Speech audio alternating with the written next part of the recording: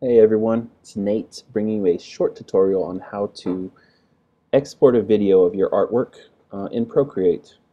I'll go ahead and uh, launch Procreate here.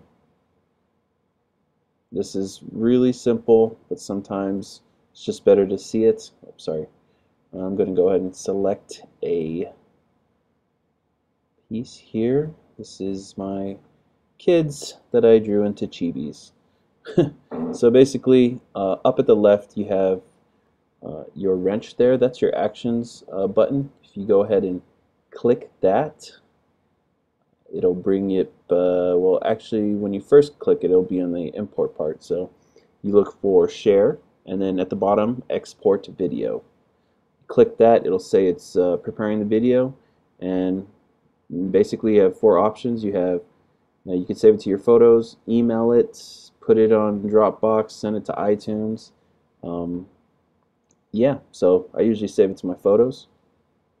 Done. And then, uh, yeah, that's it. Go ahead and exit Procreate, head over to your photos, and um, oh, there it is. It's right there at the bottom. So that's it. Um, now you have a stroke-by-stroke copy of your uh, or a video of your of your painting. So it's always nice to go back and see what you did and how you did it, and also see how other people uh, go about, I guess, their process.